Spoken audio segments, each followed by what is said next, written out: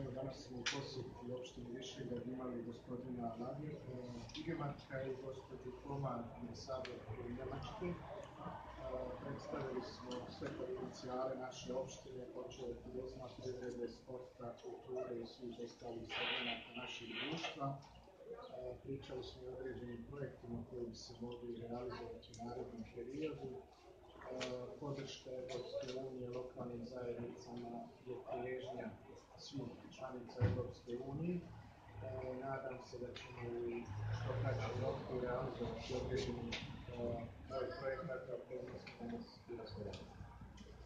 Evo, ekologija je jedan od projekata, upravo ste gospodinu Ligemarku rekli da imate taj problem plutajućeg otpada u Drini. Kako riješiti taj ekološki problem?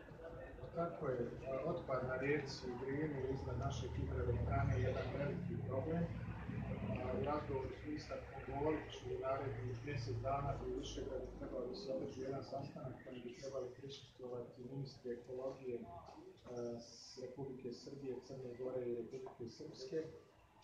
Želja svih nas je da se taj problem riješi, međutim, kao što vam je svima poznato, otpad koji dođe na Drinu, do hidroelektrane, je najvećim dijelom iz kantona Goražde, Crne Gore i Srbije. Ono što se ovdje više ne radi je to da, ne, da se taj otpad ne prepušta dalje prema Bajnoj bašti, nego se vadi. Uh, vađenje tog otpada ide veoma sporo, jer mora sve ručno da se radi. Pitanje je desetine hiljada kubika.